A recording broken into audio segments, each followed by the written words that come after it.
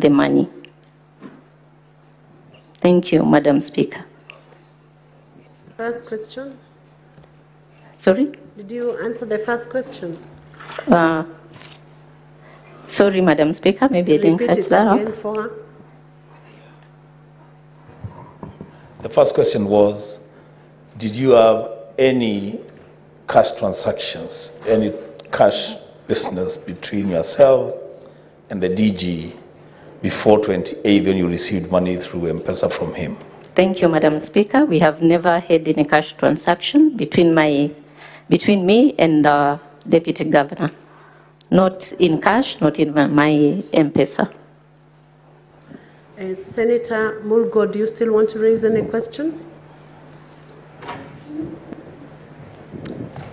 Thank you very much, uh, Madam Speaker. I have two questions uh, to the uh, witness. One is, what did you see on your message? Did you see 100,000 or did you see a name with it such that you are comfortable overnight with the money and not uncomfortable such that you would, uh, you know, seek as to who's, uh, who is the sender and probably send it back.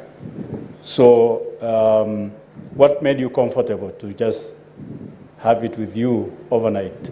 Then my second question is, uh, what influence do you have over the board such that uh, the deputy governor would uh, seek your help to be able to help him position this applicant?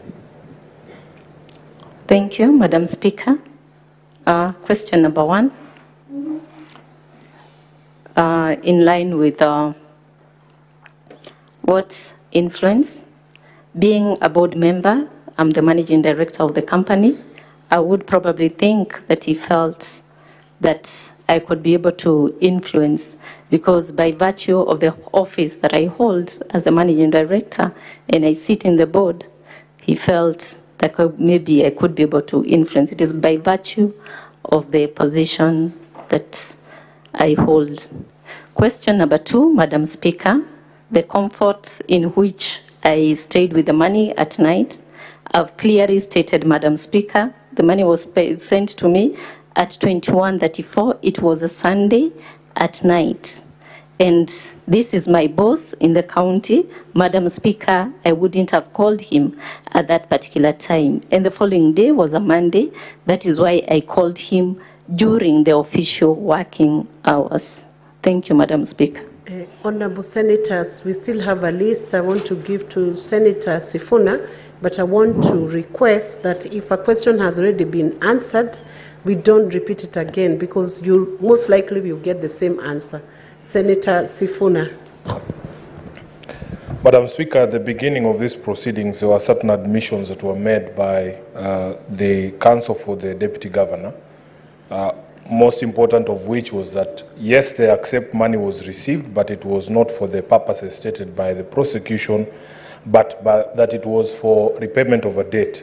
Now, uh, Senior Counsel Katwa Kigen, at page 189, where we have excerpts of the Hansard of the proceedings before the County Assembly, isn't it a fact that there was indeed another admission before the County Assembly?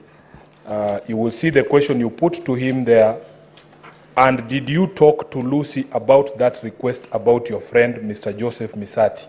Isn't it uh, a fact, if the answer is to be believed, that in fact this question of whether the DG spoke to uh, the MD at GWASCO on this request or not has already been made? Or is it your position, uh, as you've stated before, that the Hansard has been doctored? I thank you, Mr. Madam Speaker. Proceed. Lucy. Our position is that, no, we do not say that that part of the answer has been doctored. We do not contest that. Um, we- do not contest that bit of the answer. we are saying that the money was erroneously sent to Lucy. It was meant to be sent to Gladys. The conversation. It is also true, we, it is our position that uh, we contest the position taken by Lucy that he, she was summoned. It is our position that they met casually, and uh, the deputy governor said in passing that a friend of mine's son has applied, and that Lucy, in response, said exactly what she has said now, that if he qualifies, well and good, and nothing else, nothing beyond that casual comment, and that the issue of being someone is untrue.